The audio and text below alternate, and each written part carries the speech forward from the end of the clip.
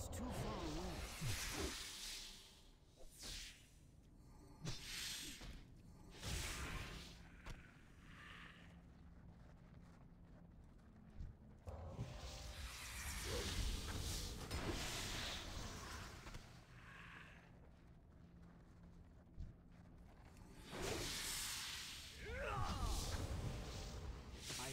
to target something first.